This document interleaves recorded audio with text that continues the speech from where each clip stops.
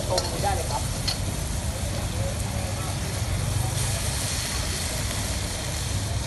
มาให้ลูกครับผม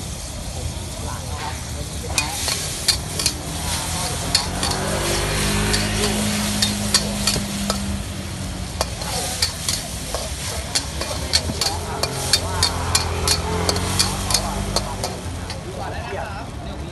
ใช่